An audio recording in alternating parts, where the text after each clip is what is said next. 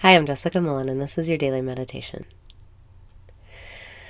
Breathe in and raise your vibration. Breathe out and release your resistance. Breathe in and raise your vibration. Breathe out and release your resistance. Relax and be here now. Even if you feel rushed, even if your mind is someplace else, even if you have to go do or be something in five minutes, you can still relax and be here now. You can still bring your mind back to your body and enter this present moment.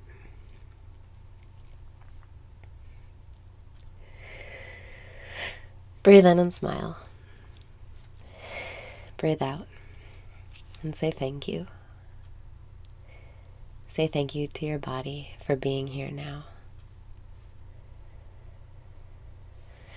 Breathe in and lighten up.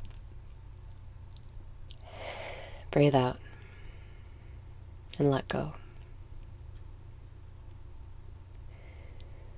As you go about your day, take the time to say as many times as you can, Thank you, God, for everything. It doesn't matter if you believe in God or Source or infinite intelligence. Think of it as love or the mysterious unknown. Breathe in and say, Thank you, God, for everything. Breathe out and say, Thank you, God, for everything. The more you say, Thank you, God, for everything, even when you think that there's nothing to be thankful for, the more you'll attract experiences to feel gratitude about. Breathe in and relax. Breathe out and say, Thank you, God, for everything. Thank you for the air and the food, for the trees and the water, for the earth, for my city, for my health, for this now.